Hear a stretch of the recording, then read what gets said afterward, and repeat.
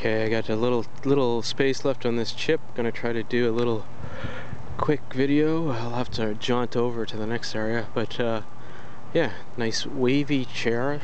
Um, again at Fresh Pond, next to Fresh Pond, made of wood, I guess, and it's cracking up.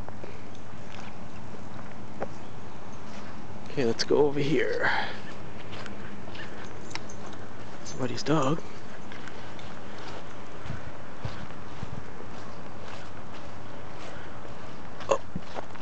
To the next place.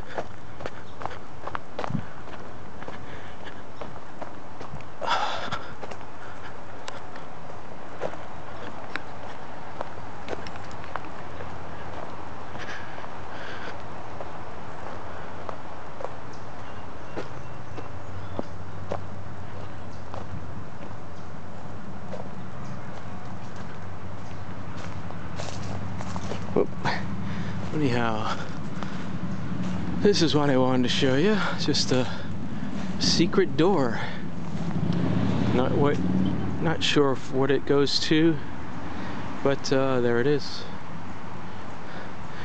Feels like a Neil Gaiman story could emerge from uh, the wavy chair and the secret door, huh? A whole underworld.